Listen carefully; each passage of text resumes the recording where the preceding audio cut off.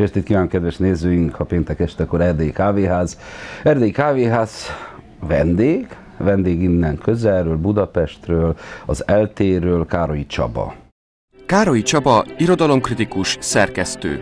1962-ben született Debrecenben. 1986-ban végzett a budapesti Ötvös Lórán Tudományegyetem bölcsészkarán. 1986 és 1999 között a Nappaliház irodalmi és művészeti szemle szerkesztője, 1994 és 1997 között a József Attila kör elnöke volt. 1996 óta az Élet és Irodalom könyvkritika rovatának szerkesztője, 2009-től a lap főszerkesztő helyettese. 1997 óta kritikaírás tanít az ELTE eszétika tanszékén, három eszé és tanulmánykötet szerzője. Tagja a Szépírók Társaságának és tiszteletbeli tagja a József Attila körnek. Jó estét kívánok! Jó estét kívánok! Hát köszöntünk nagy szeretettel Marosvásárhelyi kávézónkban. Te minek szeretnéd magad, hogyha egy szót használhatnál, hogy irodalmár, kritikus, újságíró, tanár, író? Író nem vagyok, irodalomkritikus vagyok, és az Élet és Irodalom főszerkesztő helyettese könyvkritika Ez már sok. szerkesztő. Ez- ez már szerkesztő, akkor mondjuk kritikus meg szerkesztő. Kritikus, Aztán na. ezt tanítom. Na jó, akkor maradjunk abban, hogy az én véleményem szerint, vitatkozz, egy kritikátlan világban élünk. Hát attól függ, hogy mit nevezünk kri- kritikátlan világnak, ugye? Tehát, eh, hogyha általában értjük a kritikát, tehát, hogy bármit megkritizálunk, a közéletet, a napi dolgokat, a ebédet vagy az éttermet, akkor szerintem nem élünk kritikátlan világban. Na jó, akkor Mert reng, rengeteg. El- Elmész a piacra, Igen. vagy elmész a sarki boltba, akkor öt percig ott állsz a sorba, akkor biztos, hogy az emberek elkezdenek valamit kritizálni. Igen, Tehát, de, nem, de értelemben- nem mozgósít már ez a kritika. Én, én most kifejtem. az más, igen, igen, hogy, tehát ott már csak a szelep lett a kritika, Ugye, tehát úgy, elmondom úgy, a bánatomat. 90-es és évek elején én, én nagyon szerettem élni, most is szeretek, akkor még, még jobban szerettem élni, mert úgy volt tétje. Ennél is, Hogy? ennél is jobb. Ennél is jobban. Volt tétje a kritikának. Mindig, mindig arról álmodtam, hogy egyszer egy, egy, egy kritikai lapot szeretnék indítani, vagy dolgozni benne, vagy mit. Az kedvenc lapjaim egyike, a nagyon sok közül a Test magazin volt. Volt egy ilyen magyarországi lap, Nem. Test magazin, mielőtt megvettél volna valamit, előbb megvetted a tesztet, és megnézted, hogy erről mit mond, összehasonlította, és úgy segített a döntésekben. Na most Igen. 90-es években tétje volt a művészet kritikának. Reszketve várta a színész, a színkritikust, a, az irodalom szerető, nem író, aki olvasott, hogy hát mit írtak erről, mit írtak arról, és ma úgy érzem, hogy mindenki úgy beállt. Tehát őt nem támadom meg, mert ő megtámad engem. Az a, a kiadóval én jóban vagyok, hát nem írhatok rosszat róla, mert akkor nem fog engem. Az benne van abban a kuratóriumban, ha azt írom róla, akkor... És úgy kilugozódott minden. Tehát csapaterősítés a kritika. Biztos van ilyen. Mhm. Szerintem 10 éve is volt ilyen, meg 20 éve is volt ilyen, most is van ilyen. A, a rendszerváltás után nyilván azért éreztük úgy, hogy, hogy fontosabb szerepe van a kritikának, mert hirtelen lehetett szabadon kritizálni. Tehát, tehát megszűnt az a fajta cenzúra vagy diktatúra, hogy a, hogy a kritikának igazodnia kellett valamihez, akár politikai ügyekhez. 90-től nem kellett igazodni, és elvileg szabad lett a kritika. Szabad és független. Ezt nagyon sokan élvezték, és az irodalom kritikában is, de mindenféle művészet kritikában sokkal egyenesebb, tisztább hangok jelentek meg. És megjelent a negatív kritika, mert azért a rendszerváltás előtt a negatív kritika az nem volt jellemző, ha pedig volt, akkor sokszor politikailag értelmeződött nyilvánvalóan. Ez Amit szerettünk, azt megvédtük, vagy a jó kritikus inkább elősegítette a jó műveknek a megjelenését vagy a befogadását, és éppen ezért azt csinálta, hogy a jókról írt dicsérőt. Nálunk ez úgy volt, bocsáss meg csak röviden, eh, 89 előtt, ha valamit nagyon lehúztak, akkor tudtuk, hogy politikailag van jó. lehúzva, az nagyon Az jó. biztos jó, így Tehát van. az olyan mozgósító ereje volt a mozi filmek. Ó, Így van, így van, pontosan. Na most ugye a rendszerváltás után ö, elvileg mindent lehetett, és éppen ezért ö, a negatív kritika lehet, hogy ö, érvényes volt és igaz volt. Tehát nem politikai alapon született, hanem azért, mert a kritikus Láss csodát, tényleg azt gondolta, hogy az nem jó. Na most ez egy furcsa dolog volt, ezt meg kellett szokni, mert a, az egész művészeti élet ahhoz szocializálódott 89 előtt, hogy, hogy a jó dolgok, vagy a jelentős szerzők, jelentős alkotók nem nagyon kapnak negatív kritikát. A rendszerváltás után csak a magyar iroda, a, a, a, a magyarországi magyar irodalomra gondolva számos szent tehén hirtelen kapott egy-egy negatív kritikát. Mondjuk Nádas Péter, vagy Kertész Imre, vagy Eszterházi Péter, Balassa Péter, Tandori Dezső, tehát, tehát nagy vadakról hirtelen megszületett olyan negatív kritika, ami nem volt te, sokszor nem volt teljesen alaptalan. Na most ez nem volt hozzászokva ehhez a közönség. És ennek volt egy nagy kifutása, voltak nagyon híres irodalomkritikák, amelyek így neki mentek egy-egy életműnek. Hát Bán Zoltán András, Farkas Zsolt és, és mások. Na most aztán utána ez beállt nagyjából, tehát amit most érzel, az annyi, hogy ennek a korai korszaknak vége van. Most, most volna a normalitás ideje, hogy egy kritikus körülbelül azt írja, amit gondol, ha jót, akkor pozitívat, ha nem jót, akkor negatívat. Az irodalom kritikában ez ha hiszed, ha nem, ez nagyjából működik, sokkal kevésbé átpolitizált, mint a színház. Vagy a mozi. Igen, de a, a színház a legjobb példa, mert ott tényleg az van, hogy hatalmas pénzek egy, egy könyv kiadásához képest egy színházi előadásnak a, a, a megcsinálása az rengeteg pénzbe kerül, és valóban a színházi kritika az Magyarországon ketté szakadt, mint ahogy a színházi világ is ketté szakadt. Azért a- az irodalom Egy is... harmadba szakadt. Tehát Igen. Kétharmad egy harmadba szakadt. Jó, mindegy. De nem úgy, mint a parlamentben. A, az, az irodalomnál egy kicsit bonyol- bonyolultabb a dolog. Valóban van egy, ha tetszik, népi, vagy konzervatív, vagy jobboldali irodalmi közeg, és van egy másik, amit nevezhetünk bárminek, Urbánusnak? urbánusnak, vagy, vagy, vagy Ez egy száz éves vita. Ugye már ez borzasztó nehéz ezeket meghatározni, hogy, hogy proz, progresszív, vagy a, amonnan nézve kozmopolita, vagy nemzetellenes, vagy akármi. Tehát, hogy van két világ, van két eszmerendszer, ami szerint rendeződik az irodalmi élet is. Ezeknek megvan, mind a kettőnek megvannak a lapjai, az intézményei, meg úgymond az írói is, és, és gyakorlatilag kevés az átfedés, hogy, hogy az egyik tábor íróit komolyan vegyék a másik helyen, és fordítva. Én látom Tehát- ezt a dolgot, tehát, hogy Magyarországon mi idézőjelesen használom ezt, hogy istálók jöttek létre. Az én istálomban van minden, ami nekem kell. Van íróm, van zenészem, van filmrendezőm, van mindenem, egy-egy, vagy anyagi érdek köré csoportosulva, vagy egy politikai érdek köré Igen, csoportosulva, de a kettő néha egymásra megy, tehát anyag, politika, anyagi rész, politikai rész ugyanaz, és akkor megveszik lábon állva ezt, azt, azt, aki őt erősíti ebben a dologban. Én én is jártam meg, van, hogy... az, vannak azért átfedések. Tehát, eh, tehát ugye a, a két, két nagy akadémia van, úgymond, van a Igen. Széchenyi Művészeti Akadémia, és ugye van a Magyar Művészeti Akadémia. Vannak olyanok, akik mind a kettőnek tagjai. Igen. De nem ez a jellemző, hanem az a jellemző, hogy ez két külön dolog. Az istálokból szerintem sok is van, Sok, sok. de az nem baj, mert például az irodalmi életben egy-egy komoly kiadó, az ugye a maga szerzőgárdáját megteremti, van külön úgymond istálója a magvető kiadónak, a kaligram kiadónak. Hát én most nem a kiadókra Európának, stb. gondoltam, hanem mondjuk politikai... Aha, de mert ezeket is szoktuk istálóknak nevezni, Ja, értem, és akkor értem. ugye az van, hogy azok a szerzők, akik a magvetőnél vannak, azok ugye már 5-10-15 éve ugyanannál a kiadónál vannak, egymást segítik, egymás könyveit bemutatják, stb. Na most stb. Budapestről hogy látszik mondjuk a, hát nevezzük most határon, nem szeretem ezt a kifejezést, nem is értek egyet vele. Oké, A- de a most- kisebbségivel még annyira se értek egyet, mert miért lennék én kisebbségi, amikor, amikor Bukarestben én értem, amit mondanak, és Budapesten is értem, amit mondanak. Tudom olvasni azt is, ami Bukarestben van, tudom olvasni, ami Pesten van. Ez az egyik érzelmileg közelebb áll hozzám, de nem érzem magam kisebb, sőt, többséginek érzem magam a két város vonzatában. De azt tudjuk, ugye Magyarországon azt mondom, hogy Kaligram, ah, az kiadó, és ez egy szlovákiai kiadó. Igen, de Pesten is van irodája, tehát ugye ráadásul, e, sőt, Pesten szerkesztik a könyveket, Pesten van szerkesztősége. A könyvbe a... belül azt írja, hogy Szlovákia. Igen, és az van odaírva, hogy Pozsony. És Pozsony. Na most e, ez nagyon érdekes, mert a Kaligram nagyon jó példa arra, hogy tulajdonképpen már tényleg nincsenek igazából határok meg olyan sincs, hogy határon túli, meg belüli, meg nem tudom mi. A Kaligram szerzőinek a nagy része Magyarországi író.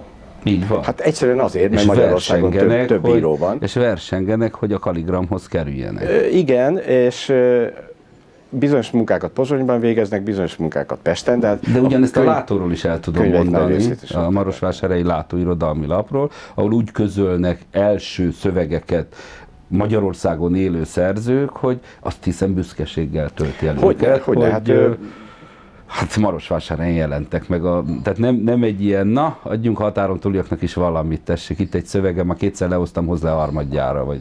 Nem, vannak olyan költők, prózaírók, akik itt indulnak, uh-huh. vagy, vagy rendszeresen adnak szöveget. Tehát... Na most megnézem a törzskönyvét a mai kortárs magyar irodalomnak, ha még van ilyen kifejezés, mi még itt tanultuk, elég sok mindent el kell felejtsünk, sokan mondták rendszerváltás után sok mindent újra kell tanulni, nem, sok mindent el kell felejtsünk, utána adjunk helyet a tanulásnak.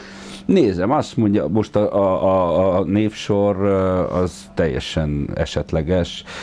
Pap Sándor Zsigmond, Dragomán György, Bartis Attila, Tompa Andrea, Tiszakata, ezek, akik most, most jelenleg idéglenes budapesti ja, hogy Magyarországon élnek, és Romániában születtek. Így van, Ért. így van. De aztán vannak a két lakiak, ugye mondjuk Tom Andrea is a két lakiak közé tartozik, de vannak a, a mainstreambe, a főutcán Vida Gábor, Láng Zsolt, Kovács András Ferenc, Markó Béla, sokan mások. Tényleg sokan mások. Ami, hát én örülök, és, és ilyen huncutól nézem én ezt a, ezt a listát, de abban a pillanatban, amikor én is átmegyek, oda megyek, találkozom, akkor leültetnek a határon túli kis padra, akkor megkérdezik tőlem, hogy Vasarbert legújabb kötetét mikor adjátok ki. Na, és Sütő András ír, jaj, meghalt szegény, pedig mekkora író volt.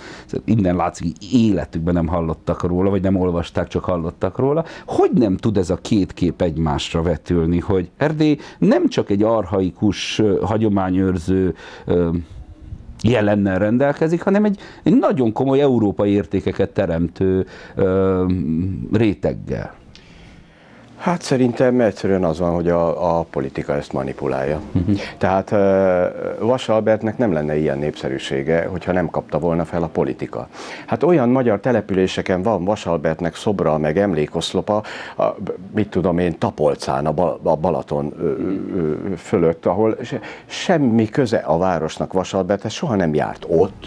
Ö, átkeresztelték a Tapolcai Városi Könyvtárat Vas Albert könyvtárra, eredetileg azt hiszem, hogy Bacsányi János nevét viselte, tudnélik, ő ott született a városban. Annak volt valami értelme. Igen. Tehát azt látom, hogy értelmetlen dolgok történnek. Szerinted mi nem vagyunk hibásak ezért? A te generációd meg az enyém? Hát én hogy nem konkrétan tudtuk... én még nem gondoltam arra, hogy hibás lennék azért, hmm. hogy a tapolcai könyvtárat átkerestették. ez, ez egy jelenség. Tehát, tehát a pubertáskornak vagy pattanás jelensége. Beszéltünk a pattanásról, de mégiscsak a pubertáskorról kell hát beszélni. Nézd, az irodalom történészek vagy irodalomkritikusok egyértelműen megmondták, hogy Vasal Robertnek olyan, hol a helye, nem egy jelentős író. Ez egyébként nem számít, hogyha elkezdik nyomatni a médiában. Egyébként szerintem olyan nagyon sokan nem olvasnak Vasalbertet, mint ahogy sajnos Bodor Ádámot se olvasnak annyian, mint kellene. Bodor Ádámról el, a Hát ő a nagy öreg, ő a nagy öreg, de Bodor Ádámtól Szabó Robert Csabáig mondhatnám a kiváló írókat, akiket szerintem szintén nem olvasnak olyan sokan. Tehát azért lehet manipulálni ezt az egész közönséget, mert gyakorlatilag kevesen olvasnak. Jó, de én ezt már saját olvas, hibámnak tudom be. Na most én éjjel-nappal azt mondom, hogy olvassátok ezt, meg ezt, milyen jó, írom a kritikáimat, Igen. mit csináljak még? Vagy, vagy tanítok, vagy mondom, hogy, hogy gyerekek, ezt kéne olvasni, mert megéri. Most más nem tudok csinálni, nekem nincsen hatalmam arra, hogy szónokoljak a televízióba, meg mit tudom én, de, milyen de rendeleteket adjak el? Azért, azért én emlékszem arra, hogy a, a rendszerváltás környékén azért nagyjából minden magyarországi párt azért az irodalomkritikát, a kritikát, a művészeket azért tisztelte. Hát és ebben, érték, ebben egy nagy romlás van, ez érték alapon, ez érték alapon Igen. úgymond emelte ki Igen. őket. Ma, amikor egy Kossuth díjat kiosztanak, úgy bele borzongok, bocsánat, nem fenyeget a veszély, de azért, azért nagyon szégyelnék egy-egy sorba beállni ezzel, azzal vagy amazzal. Hát a Kossuth díj elvesztette az értékét. Ugye, amíg a Kossuth díjat szakmai alapon osztották, akkor lehetett ugyan vitatkozni azon, hogy miért X kapta, miért nem Y, ő kicsit jobban megérdemelte, de aki megkapta, az általában megérdemelte mm. egy ideig. Az utóbbi években gyakorlatilag politikai alapon osztják a Kossuth díjat, elvesztette az értékét. Csak az egyik oldalnak osztanak, de már nem is találnak arra érdemeset szinte, ugye? A másik oldalnak meg nem osztanak, és van ez a szép magyar szokás, hogy mi uraljuk a terepet, mondjuk adunk öt díjat, abból egyet olyan díszpintnek adunk, aki egyébként tényleg megérdemli, hogy valami kis legalizáljuk igen, legalizáló jellege legyen, a többit megadom a haveroknak. Na most a Kossuth díj teljesen elvesztette az értékét, és abban teljesen teljesen igazad van, hogy legalábbis a magyar politikai osztály egyre mélyebbre süllyed, nem csak szakmailag, meg morálisan, hanem a kulturáltság tekintetében is. Tehát a mai magyar parlament összevetve mondjuk a 15 évvel, 20 évvel ezelőttivel, hát sok, biztos vagyok benne, hogy sokkal kevesebb kultúrát fogyaszt. Egyrészt látszik rajtuk, másrészt látszik az intézkedéseiken. Harmadrészt egy konkrét példát szoktam mindig idézni, a Kukorelli Endre, aki néhány év, ugye író-költő, aki néhány évig parlamenti képviselő volt az LNP színeiben, megírta a emlékiratait a parlamentről, és abban van egy rész, hát halálra röhögtem magam, hogy plenáris ülés van, és kés, késve bejövő képviselők hogyan ülnek be a pacsorba, szűkek a pacsorok a, a budapesti országházban, mint tudjuk. Nem ezekre a méretekre igen, készültek. És akkor, hogy, hogy most a, a már ülőkkel szemben megy be, vagy háttal megy be, ugye? És ebből Kukorelli Endre megállapította, hogy ezeknek a 90%-a még színházba se járt. Nem tud késve bemenni a pacsorba. Magyarán fenékkel, ennyit, fenékkel az ennyit ülő erről, fele. Ennyit erről. Na most, hogyha ilyen De a... ennek egyszer vége lesz? Tehát lesz egyszer hát egyszer mindennek vége lesz. Egyszer mindennek vége lesz, csak az a kérdés, hogy itt utána mi jön, jobb vagy rosszabb. Mert én, én azt szokták a, mondani, hogy ennél rosszabb már nem jön. A közé, de hogy nem mondja az optimista. De a, a, én azt látom, hogy ez a középszer, amit felvetett ez a jelenlegi politikai kurzus, ez nagyon agresszív lett. Agresszív és kulturálatlan, hogy... kultúra ellenes. Tehát most már még rosszabb a helyzet, mint korábban. Eddig az volt, hogy legalább a, úgymond a saját, vagy a sajátjuknak vélt kultúrájukat támogatták. Igen. Most az van, hogy már az sem, mondván, hogy nincs pénz. Tehát most egy olyan fajta kultúra ellenesség van, hogy azok az írók is ö, ö, nyomorognak, akik tulajdonképpen ö, boldogan tapsolnának ennek a rendszernek, mert annyira nincsen jövedelmük, nincs az íróknak ö, bevételük, nagyon sok írónak úgy kell kiadni a, a könyvét, hogy nem kap érte honoráriumot.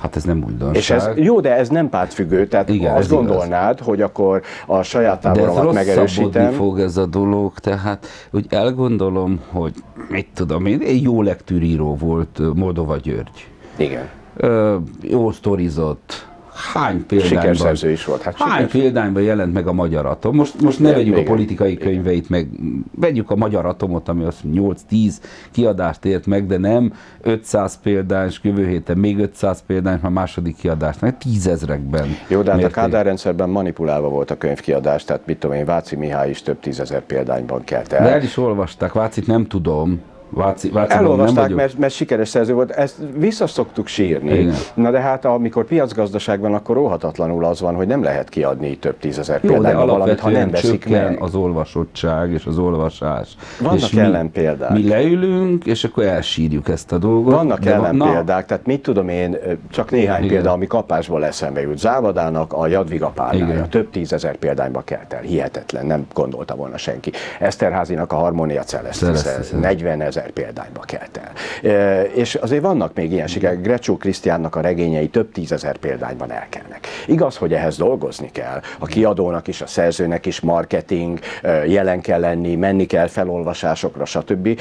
Sok író nem megy ezekre a felolvasásokra, vagy nem szívesen, vagy nem jól kommunikál a közönséggel, és utána sír, hogy nem ismerik.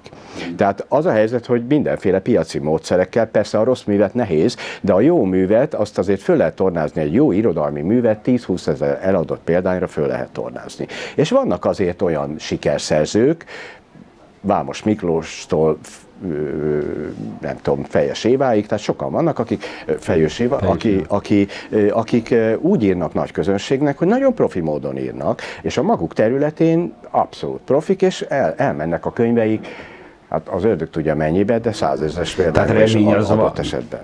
Remény. Remény az mindig. Jó, az hal meg utoljára. Hát egy olyan lapnak vagy a helyettes főszerkesztője, vagy főszerkesztő helyettese, nem tudom mi a különbség a kettő, Semmi. valaki rakja össze, amelyik, amelyik sikeres.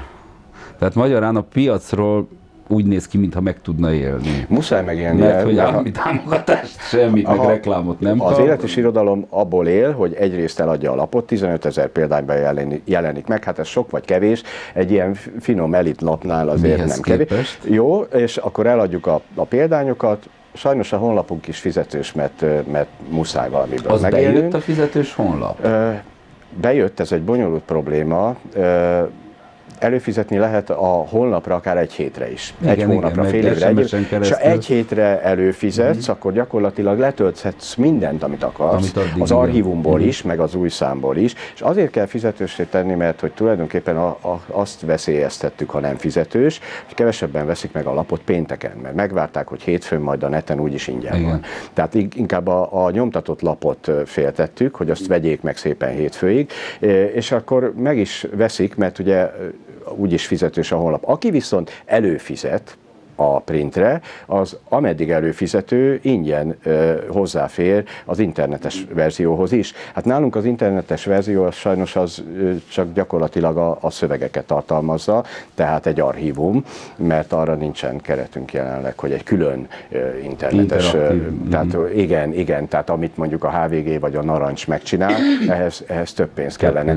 Mi valóban nem kapunk semmilyen támogatást, se alapítványoktól, államtól, aztán egyáltalán nem, pártalapítványoktól, se sehonnan. Nyugodtan alusztó. És nincsen, nincsen igazából reklám sajnos, uh, tehát nincsen hirdetés. A lapnak van egy érdekessége, egy gyerekkoromban, amikor először hozzájutottam, vagy nem, hát tényleg nem emlékszem, hogy próbálom beazonosítani, mikor láttam először élet és irodalmat, de nagyon rég volt, tehát ilyen 7-8-9 éves koromban. Én a páratlan oldalt olvastam évekig, yeah és csak a páratlan oldalt, és mai napig is mindig a páratlan oldalnál nyitom ki. Nem gondoltátok soha, hogy azt egy kicsit föl lehetne még dúsítani? Azt hiszem, az az egyik legvonzóbb része. Az a... egy nagyon vonzó. Egyébként az ingyen van a honlapon. Uh-huh. Tehát a glosszák, azok, azok fizetés nélkül is olvashatók. Hát nézd, ennek ennyi tere van, hogyha, hogyha ugye ez egy kolumna alapban. Igen. Hogyha kettő lenne, akkor fölhígulna. Tehát ennyi glossza van egy héten. Illetve hát válogatunk, nem ennyi van, sokkal, sokkal több jön be, van. de hát akkor a legjobbakat próbáljuk betenni. Egyébként ugye ettől függetlenül még vannak ö, olvasói vélemények, tehát a, ugye a második oldalon a vízhangrovat, az Igen. gyakorlatilag az hozzász, olvasói hozzászólások, Igen. és még a, a lap első felének végén ugye van az Agora rovat, Igen. ahol hosszabb, szintén reflexiók, hozzászólások vannak. Hát sok sikert kívánunk a lapnak, hogy, hogy legalább életben maradjon, és Köszönöm. azon kevés lapok közé tartozik, hogy, hogy tényleg nem érzi az ember, hogy lennének határok. Európába. Tehát tényleg egy értékközpont orientált lap tud lenni, és, és nagyon széles kitekintéssel élő példa a szerző éppen Marosvásárhelyen előadó körutat tart. Ja, igen. Meg hát egyébként az európai ügyekre is figyelünk, a Széki János kollégám, aki külföldi anyagokat szerez, mindenhonnan Ukrajnától kezdve Szlovákián át amerikai ügyekig, stb. Tehát, hogy próbálunk erre figyelni. Nem azt hiszem, az, lassan az egyetlen lapfajtok, amiben rádiókritika jelenik meg. Ö, nem, két ilyen lap van. Van még? Ö, igen, a másik a Magyar Narancs, ahol Krusovszki Dénesi rádiókritikákat, és meg is alakítottuk nyár nyáron a Magyar Rádiókritikusok Szövetségét, ketten, és alelnökök vagyunk mind a ketten. Fel, felvételizek egy pót alelnöki posztra, mert imádom a rádiókritikát, a rádiót, mint műfajt. Tehát, hát igen. És hiányolom a feedbacket, a folyamatos feedbacket. Kevesebben hallgatnak állítólag rádiót. Nagyon kevesen. Tehát kevesebben, Autóba, meg, meg, így van, és ugye tévét néznek. Tehát tévékritika minden héten van az ésben is, rádiókritika meg akkor, amikor éppen ráérek. Egyre többen hallgatnak neten rádiót és különböző hírportáloknak, meg egyéb kulturális portáloknak is van most már ilyen hanganyag szolgáltatása. Tehát például a Litera irodalmi portál, ott is szoktak lenni ilyen szövegek, amit föltesznek, Litera rádió, meg Litera TV, és hát én már mondjuk a, a különböző rádiókat nagy részt úgy hallgatom online. Így van. Tehát Budapesten ugye nem tudom behozni a Marosvásárhelyi rádiót. De online ott van. Online ott van. van. De, van. És, az, és ráadásul archív is, tehát nagyon sokszor ugye az archív anyagokat az ember meghallgatja. Na, jól elbeszélgettünk, elindultunk a kritikáról, eljutottunk a rádióhallgatásig. Köszönöm szépen, hogy itt voltál, várunk Köszönöm vissza. Megjövünk mi is. Kedves nézőnk, ennyi fért már, akár Csabával beszélgettünk sok mindenről. Jövő héten ugyanitt, ugyanebben az órában várjuk Önöket a viszontlátásra.